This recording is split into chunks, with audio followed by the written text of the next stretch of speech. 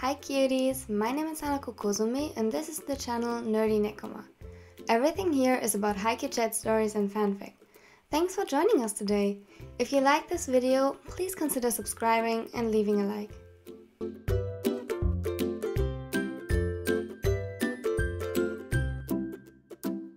And with that, welcome to today's video, or in other words, the next part of Dark Intentions, my Daisuga Iwaoi Angst series.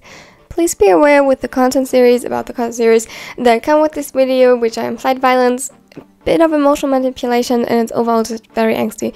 If you don't want to watch it, that's completely fine. However, if you do want to watch it, I hope you enjoy it. Let's go.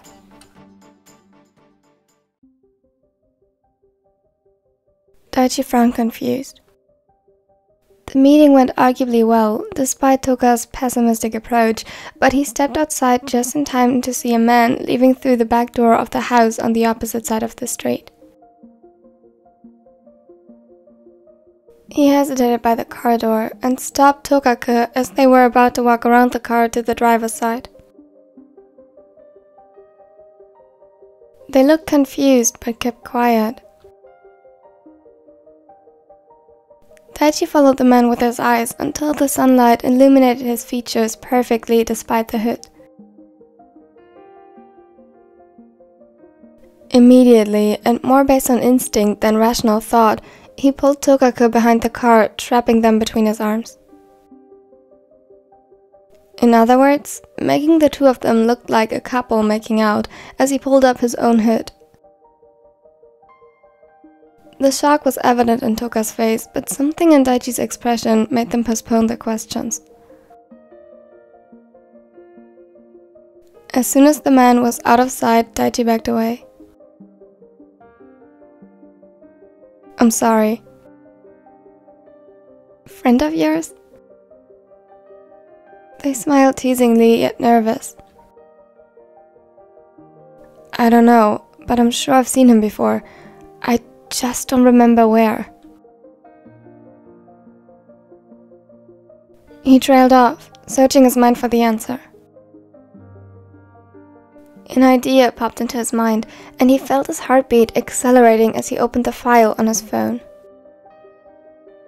As quickly as he could, he scanned through the list of pictures until he found the one he was searching for.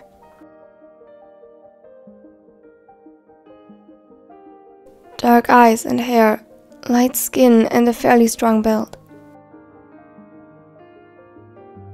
Here. He showed the picture to Tokaku. He was one of the suspects in Suga's case. A surveillance camera caught him. Wait, you have suspects? I thought you had nothing. In this case, yes. This was from last week. Suga and two of his friends got beat up, but there were too many people that day. No camera caught the actual crime, and we could only work around the blind spot.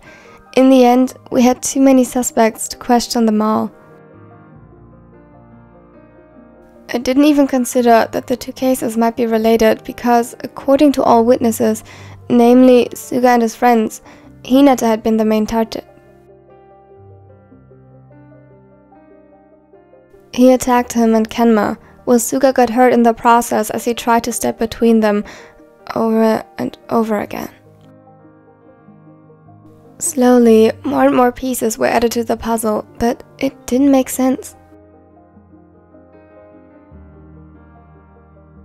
Next to him, he heard Toka's breath hitch. He hadn't even noticed how pale they have gotten. Toka. He got beat up? Oh, I forgot that you didn't. I'm sorry. They gulped. Was that why he wasn't in school Thursday and Friday? And why he was limping? The braces. I. Yes. He clenched his jaw. Tokaku, listen to me. I need you to stay here while I check something. Can you do that? Wait, that is too dangerous. You're not on duty. You don't have your weapon or badge. We need to call for help. We will. I just need to check if he's there. We don't have enough evidence yet to search the house. But many of the suspects on the list live here. It's just suspicious that he uses this supposedly empty building. He turned around. Please, we don't have much time. He can come back any minute now. I will check and come back in the blink of an eye, I swear. If he's there, we call the station. Tokaka took a deep breath. They snatched the phone from his pocket, took his hand to unlock it by using his fingerprint, and quickly opened the contacts. What are you doing? Giving you my number. They placed the phone in his hand and looked him dead in the eye.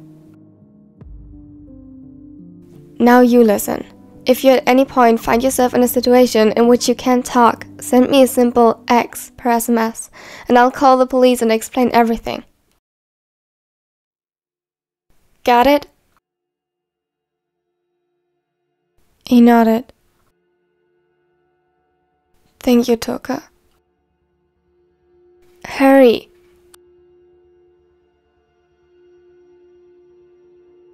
Daichi's heart was hammering against his ribs as he made his way to the backyard, always staying close to the wall. He was hesitant to go inside. Part of him still hoped to do this without breaking more laws than he already did. He searched for anything suspicious, any clue of criminal activity. It wasn't until he reached the very back of the house, the view hidden by trees from any nosy neighbor, that he heard a sound that made his heart shatter. A silent, almost inaudible cry of pain that was all too familiar to the young officer. Suga! Immediately it turned silent. Just when he wanted to speak up again, a broken whisper echoed from the inside. Daichi? Yes, it's me. It's me. Relief washed over him, and he could feel tears running over his cheeks as he finally heard the voice of his beloved again. The only thing keeping him alert was the pain reflected in Suga's voice. Don't worry, I'm here. I'm here. I found you. You found me. How? A sob escaped his throat. Coincidence. He wanted to laugh hysterically, so overwhelming was the emotion. I'll explain it later. First, I'll get you out of here. Wait! Ito is never gone for that long. He'll be back any second. His words were interrupted by yet another pain cry, and a sob following the whimper. Suga, are you okay? No, please, please, you have to get me. I will. But I can't. I can't lose. You need to make sure that we can flee. Be sure that he can't hurt you. His voice broke. But Daichi knew what he meant. If he rushed things now, he might end up doing more harm than good. I will send Toka an SMS. They will call the police and Tokaka's here? Yes. He was interrupted by the sound of a door shut and close. A choked whimper escaped Suga's throat, and Daichi. Daichi wanted nothing more than to climb through the window and hold him. Help him, save him. His fingers flew over the touchscreen of his phone. He sent the axe to Toka and, after a moment of hesitation, opened their group chat. Found him.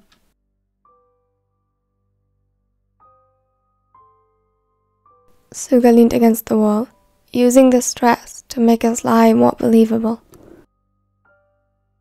He was sweating nervously. His heart felt like it was about to burst, and his lungs ached. It could all be written off as symptoms of his sickness.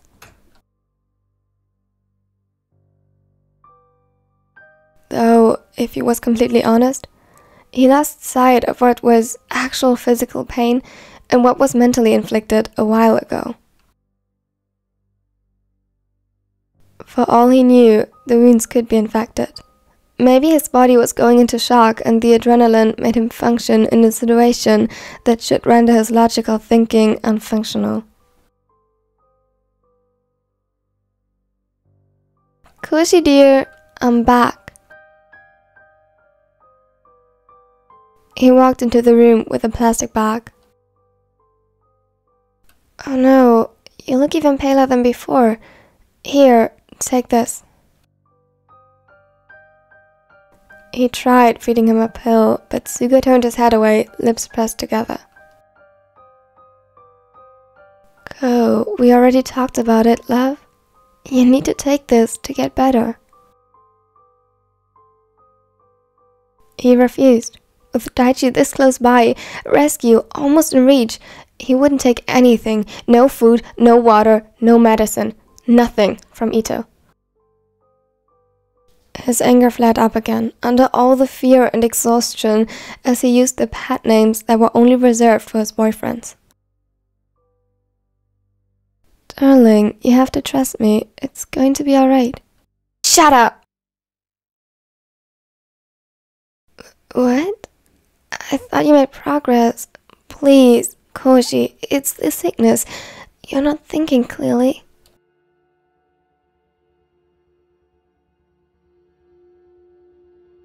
He stared at Ito with utter disdain. Fuck a stupid game. You hurt almost all of my boyfriends. You almost killed them.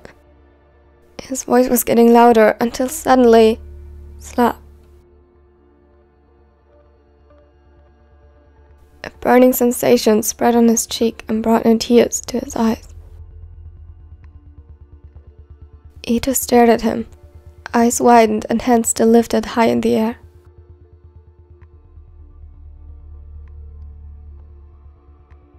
The sound of skin slapping shook Daichi to his core, and he almost gave away his position. He silently urged Suga to stay quiet. Don't give him another reason. For a moment, the only audible sound was heavy breathing and occasional hitches in Suga's breath as he stoically fought off the tears.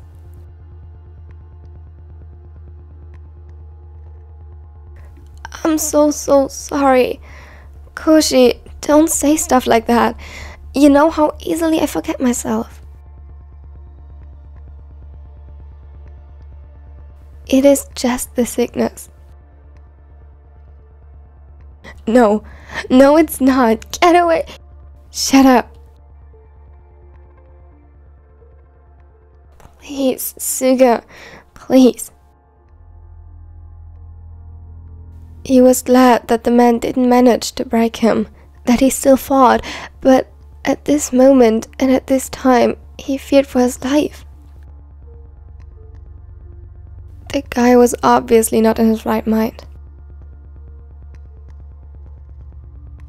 His phone lit up, a short lens, and it confirmed that it was Toka. The police were almost here. I have to go. I have to go, Suga, but I promise to be back. just hold on a few minutes longer. Please, do it for me. And Hajime and Toru. I saw it, but I didn't want it to be true. Ito was shaking. Tears gathered in his eyes, and he seemed to fight, conflicted within himself, debating on his next steps. Tell me that it isn't true. Tell me. Suga flinched. He had no idea if he went insane or lost his sense of survival, but instead of backing down, he continued staring at him with all the anger and hatred he could muster in his state. And Ito laughed, but it was far from his previous ones. This one was quiet and rid of any joy. You were too perfect, weren't you? I wanted you to be perfect. My perfect Koshi. His hand reached for his face, holding him in place by his jaw while his thumb tenderly caressed the quickly reddening skin where he had slapped him before. Yet, all you are is a. He pressed down on the flesh until it hurt, and Suga let out a cry. The good thing is, if you already have three boyfriends, why not make it four? Or even better, if that's too many, just take me, then it would be only one. He seemed almost euphoric at his suggestion. Suga struggled in his grip and tried backing away. Get away from me! The hand that had previously held his cheek pressed down on his mouth, while the other closed around his throat. Suga's eyes widened and he struggled harder. The lack of air seemed to activate the survival instinct he deemed lost. you don't get a say in that matter. Fuck. He had one job he just needed to survive until Daichi would find him. How could he mess up this close to the end? Hot tears ran over his cheeks and Ito's hands as he fought for air. Hold still! Hold still! Hold still! You are pissing me off! His grip tightened and Suga would have cried out at the suddenly intensifying pain, but he had no air to do so. Suddenly, a loud noise in the hallway caught the man's attention, and he actually let go of him. Immediately, Suga fell to the ground, coughing and breathing rapidly. It hurt. It hurt so bad. Fuck off. Go away. Leave us alone. Before Suga could understand what was going on, he was yanked up by his arm until the rope stopped him. Ito seemed to have forgotten about them because he tried a few more times to simply pull harder, inflicting more damage to his already bruised and cut wrists, before he understood and cut them off. It wasn't until then that Suga noticed the knife. He didn't saw it for long as his head was jerked backward and the cold metal pressed against his throat. He could feel the pressure increasing whenever he gulped and tried to back away right into Ito's arms. He heard voices screaming and yelling from all directions, the most frightening one, the loudest, right behind him, but he failed to understand the words. His world was in pieces. He could feel his body shutting down. He needed something to focus on, his eyes frantically searched the room until they met a pair of brown ones. They were comforting, familiar.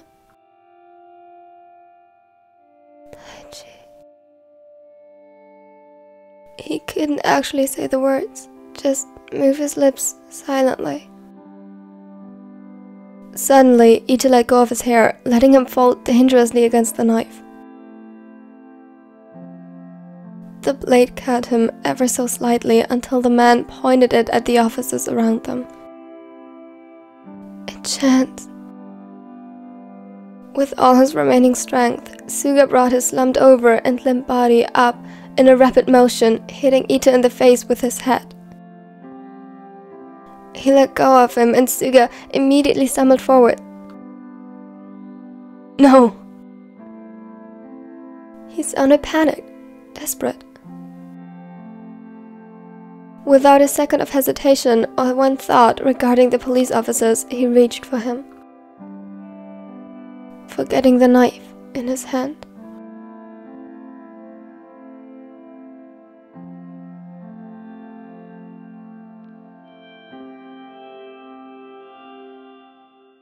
When they stormed the building, the only reason Daichi wasn't up front was so that someone could have an eye on him and make sure that he wouldn't do anything stupid. It was probably for the best. The moment he saw Suga with a knife to his throat, it was almost as if all his nightmares were coming true. Just much, much worse. He tried to stop his mind from creating the worst case scenarios and pictures after he returned to Toka unsuccessfully. Yet, the reality was so much worse. Suga looked like he was barely holding on anymore. Their eyes met. He could see so much pain and fear in them, it felt like it was suffocating him. Suga, hold on. We are here now. Not fast enough. Not good enough. Not careful enough. Suddenly, the other fell over. Daichi's heart rate spiked, but it was nothing compared to what followed. Suga hit him in his face with his hat, managing to free himself from his grip. Without hesitation, he stumbled forward toward him. The room got into motion as the others were aiming for the aggressor while he tried to get to Suga. But he wasn't the only one. The man ran after him in desperation, letting his guard down completely as he reached for Suga's leg. The blade in his hand sunk into his thigh, creating a deep cut and tainting everything around it in a vivid red.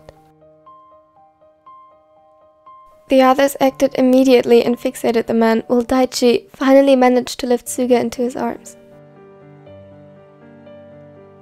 He couldn't understand his higher up over the chaos, but he didn't need to, to know that the next thing he needed to do was bring Suga to the ambulance, parking outside. Suga! Hey, Suga, listen to me. You have to stay awake. Mid-run, he changed the teacher's position so that he could apply pressure to the wound. You made it. You hear me? You made it. Over here.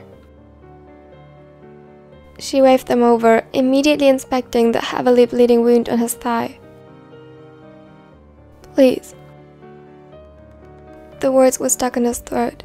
What was he even supposed to say anyway? Please save him? Please stop the bleeding? Please bring him back to me alive? They already knew all of that. Daichi stood in the middle of the road, lost. He felt like he could pass out any minute now. He didn't know what to do with himself now that he was out of there. He didn't. Daichi! He hadn't even gotten the chance to face them before Oikawa was already hugging him tightly. Daichi! I'm so. I. Are you okay? What? Iwaizumi appeared next to them. His eyes widened at the sight of blood all over his arms. Are you okay? Are you hurt? He couldn't do anything but shake his head slightly. Oikawa backed away and gulped when he saw the red on his fingers. Where? He's in there, isn't he? Daichi nodded as Iwa pointed at the ambulance. I. I couldn't. Silent tears fell from his eyes, and Iwaizumi saw his body swaying just in time to catch him. Daichi! Hey, answer honestly. Are you alright? He shook his head, clinging to Iwaizumi with all his strength, which was surprisingly, frighteningly little. Oikawa kneeled down beside them. Anything physical? Do you need medical help? He shook his head again and finally allowed himself to break down in Iwaizumi's arms. The trainer pulled him closer and Oikawa joined the hug from the side. They both wanted to see Suga more than anything, but no one was willing to risk disturbing the paramedics. They were the most useful being with Daichi now. Someone would get them. Oikawa still had dry tracks of tears from the right ear on his cheeks that were quickly replaced by new ones. I'm so sorry, you put so much of the burden on yourself. I. We are sorry, Daichi. You did so much for us, Yes, we weren't even there to support and reassure you. I feel terrible. We were useless. Daichi didn't have the strength anymore, so he just shook his head again and pulled them closer. You are the family of Sugawara Koshi, right? They nodded. Iwaizumi slowly got up to talk to the EMT, leaving Daichi in Oikawa's arms. Yes, how is he? Stable and still alert. Nothing indicates internal injuries, though they can't be completely ruled out. However, based on the injuries he described to us and without any symptoms, scans won't be necessary at this point. Wait, so he's awake? She nodded. Yeah, and he refuses to sleep and any medication that would make him. Listen, in cases like this, we don't have to consider just the physical trauma. He is stable right now and shows no signs of anything majorly concerning. If you four have an eye on him, which for tonight means one person should be awake at all times, and you go visit your family physician first thing in the morning, we can send him home with you. Iwaizumi was stunned for a second. Really? She nodded again. That was great news. He couldn't be that badly injured if they let him go.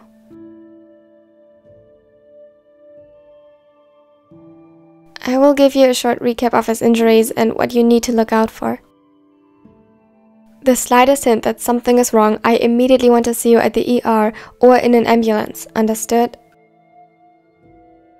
Yes.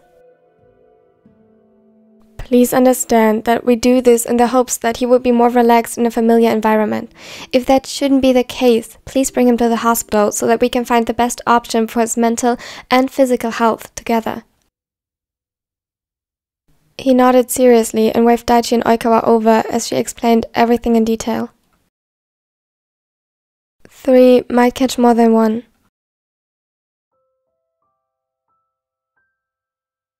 Koshi? Oikawa followed the paramedic inside the giant vehicle. His breath hitched at the sight of his boyfriend. This was even worse than the day he got beat up. Both his leg and wrists were wrapped tightly in white bandages that were bruises on his face, the darkest ones blooming on his neck, and bloodstains everywhere on his clothes. The fabric around the injured leg was cut open.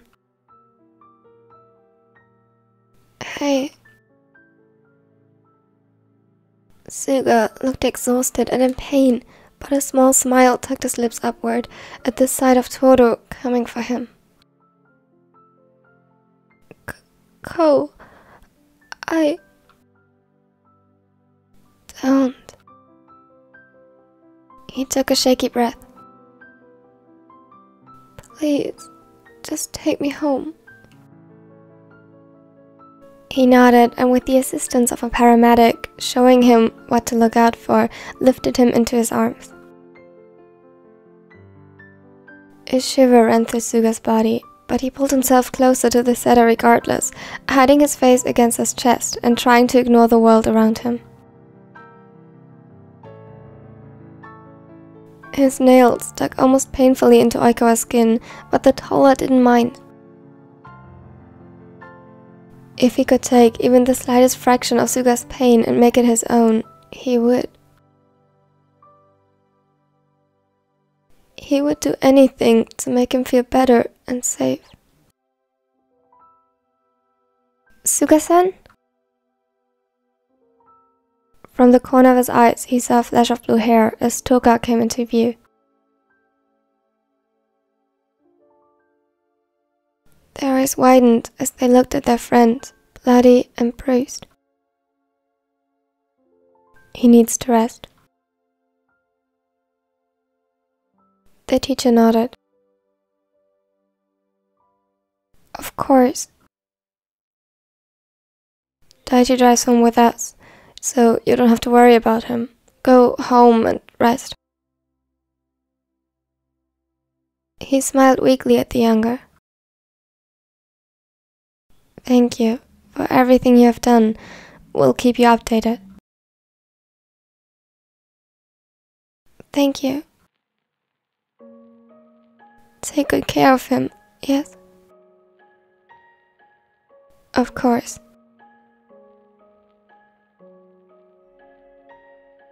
He shifted Suga into a comfortable position in his arms on the back seat, while Daichi took the passenger side and Iwaizumi drove. The setter was more than grateful for Iwa's quick thinking and huddled the injured in the blankets he packed before they left. After everyone checked on Suga one last time, they started their way home. Oikawa expected him to fall asleep with all the exhaustion coursing through his body. He himself certainly felt like he could use a nap. But to his surprise, his eyes remained open, staring off into the distance. Hey, Koshi? The reaction was immediate, not from Suga, who took a while to process the words, but from Iwa and Daichi. The latter turned around anxiously while the trainer tensed and quickly looked at them in the mirror. Huh? You can sleep now. You are safe. We will bring you home and no one will be ever able to harm you again. I'll make sure of it. The words were meant as soothing reassurance, but they came out as a pathetic plea. To him, it sounded like nothing but an empty promise. Suga, on the other hand, smiled weakly and snuggled closer before the tears started to soak Oikawa's shirt again. Th thank you. Immediately, the taller closed his arms around the other and held him tight. Th this is all I wanted. He sounded so hurt and broken that it seemed to hurt the others physically. You can have it forever. He meant it. He meant every word. No matter what challenges would come their way as a result of the recent events or not, he would never leave his side until he asked him to. He would be there for Koshi, no matter what.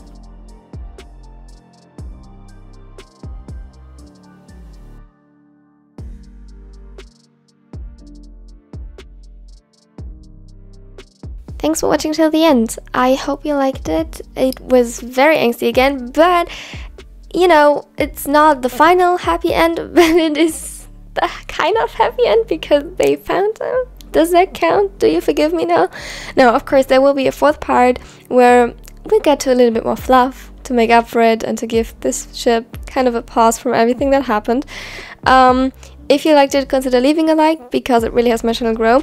And if you want to see more of this, consider subscribing so you won't miss out on anything in the future. And now have a wonderful and amazing day. I can't wait to see you on the next part. Bye!